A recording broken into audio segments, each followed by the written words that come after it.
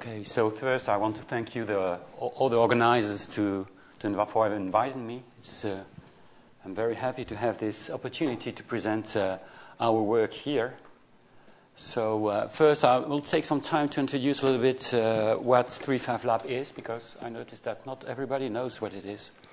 In fact, 10 years ago, uh, Alcatel-Lucent, or it was Alcatel this time, and Thales decided to merge their activities around the III-V devices, so that they could be uh, microelectronic devices or optoelectronic devices, just in order to put in common their building blocks, their facilities. Uh, and that was even easier as uh, the two companies are working in very different domains. So uh, I will present you uh, what we did uh, in terms of fabrication of photonic integrated circuits on indium phosphide for millimeter wave generation. So this work was done in collaboration with uh, Thales Air Systems, UCL, and University Carlos Freire de in the frame of the iPHOS project. And uh, this has also some impact on the new project that just started that is called IFOBAC uh, NG. So first, I will make a fast introduction. So just to explain why we're making those devices. So currently there is an increased demand in terms of uh, data rate over wireless, for wireless transmissions. And if you want to go to high uh, data rates, one thing that is necessary is to increase also the carrier frequency. And this, these very high data rates are required because, yeah, the mobile phones need more and more memory, so we need to download very heavy files even on, on, on, a, on a mobile phone. And so this is why we are going to, towards those very high data rates. Um, and in order to be able to get them, we proposed one option that is different from the standard microelectronic based solutions. And that intends to do the generation of the, of the carrier and data modulation based on optical means. So, uh, indeed, what we intended to do is to integrate in the same chip a dual wavelength uh, heterodyne generator, electro, uh, uh, electro-optical modulators, and a high-speed photodiode in order to convert the beat note into the electrical domain. Uh, and we did it uh, based on this design. So these are the chips that we've been making. So they are composed of two DFB lasers, we have some SOAs in order to amplify the signal. There is an MMI in order to couple the two wavelengths. And the output of the MMI is, sent to two UTC photodiodes. And be- before the UTC, you have SOA sections in order to adapt the, the, the, the optical power. And you have a, a modulation section here and here. On the same chip, uh, we have, so on this side, the electrical output, and we have also an optical output that can be used in order to control what we are getting inside the chip. So now concerning device fabrication, so it was quite a complex fabrication. Uh, so it was the layers were grown on, on semi-insulated uh, indium phosphide in order to make sure that the parasitic uh, capacitance were low. Uh, it required three gaseous uh, MB uh, growth steps, and we made active passive integration using butt joints. It required 15 masks, a set of 15 masks, and other data. Uh, the Bragg gratings were rating using E-beam.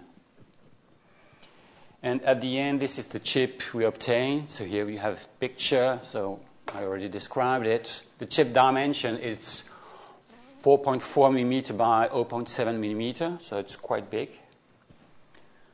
Uh, but it's more compact if you compare it with uh, electronic solutions. And just to describe a little bit what is inside the chip.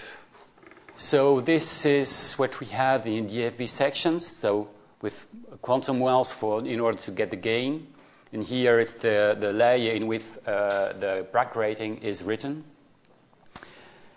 And then you have the SOA and the modulation sections that they, they use the same quantum wells we have for the DFB sections. And we just etch away uh, some, some, some additional layers in order to have the proper confinement. Then we have the passive waveguides. So between active and passive, we, we have a butt joint.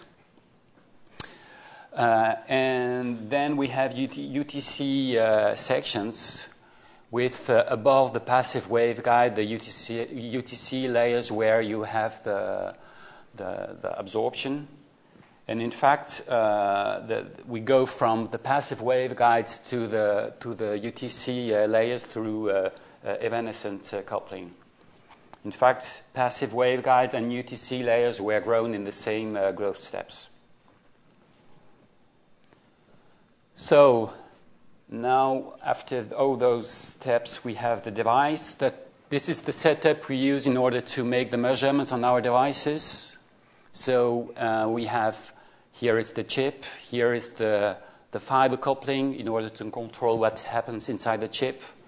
We have here a multi-DC probe in order to bias all the different sections. Here we have the data emulation input probe and here is the millimeter wave output probe. So it's a 110 gigahertz uh, coplanar probe. And these are the optical spectra we obtained for different bias points of the chip. So we succeeded in order to tune the, the wavelength separation from 5 gigahertz to 110 gigahertz. So I show it this way, uh, but in fact, when we increase the bias current, from one of the two DFB lasers, it goes this way uh, because the device was initially designed for high frequency generation. So the initial wavelength is, was in fact intended to be 120, and we increase the bias current of one of the two DFB lasers.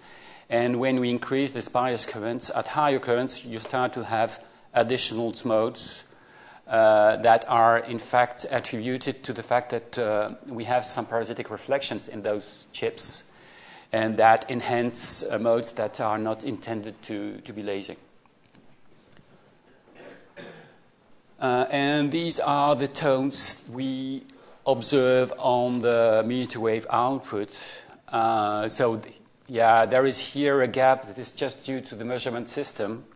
In fact, we couldn't make the measurement at 70, or we could do, we could make it, but it, uh, the, with no guarantee of the, of the, of the power levels.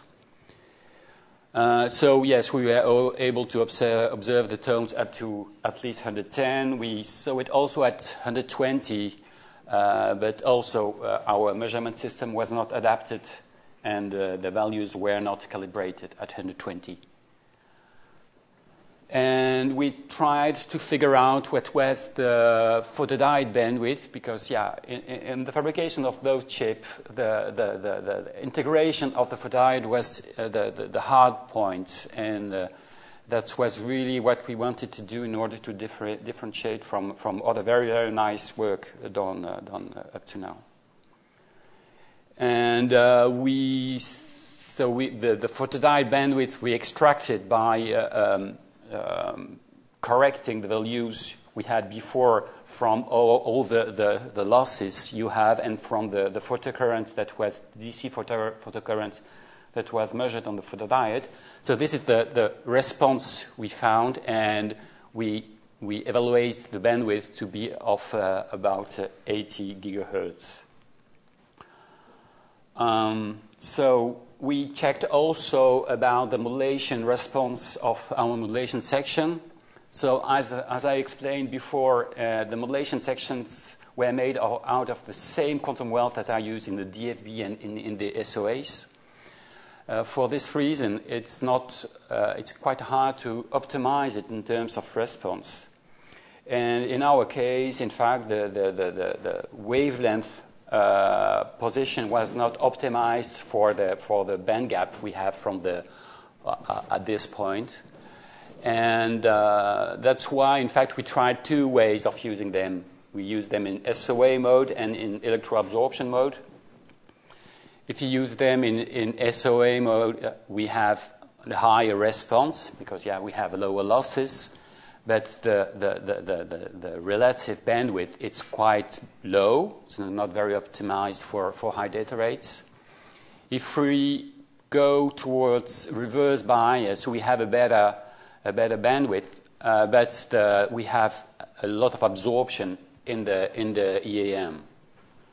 So that's why for the experiments I will present here, we chose, in fact, to, to, to, to find a, to bias them at this point in an SOA mode.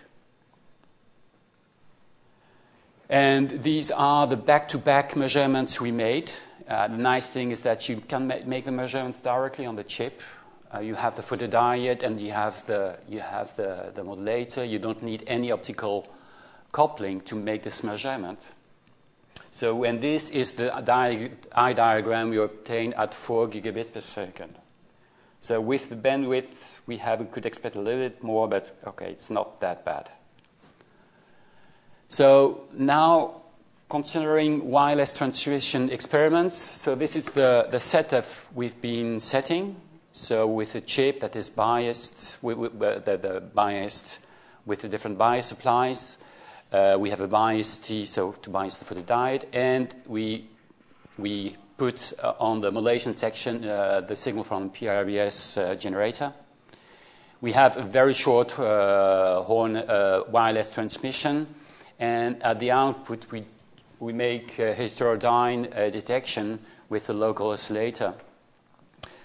And by using this setup, these are the eye diagrams we obtained at 100 megabyte per second.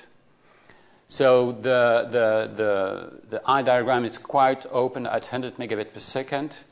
Uh, we could go, in fact, uh, yes, and the carrier that was used for this transmission was 90 gigahertz. And we could go up to 200 megab- megabit per second, but in fact not at higher data rates. And this is mainly uh, because, in fact, we were affected by jitter inside uh, our chip. Uh, uh, and this jitter is even more affecting the transmission as we are using heterodyne uh, detection. Uh, some partners inside the project made some measurements with, uh, with uh, direct detection with the Schottky diode. And uh, they are really less affected by, by this jitter, and they were able to make a transmission at up to 2, gigabyte per, 2 gigabit per second.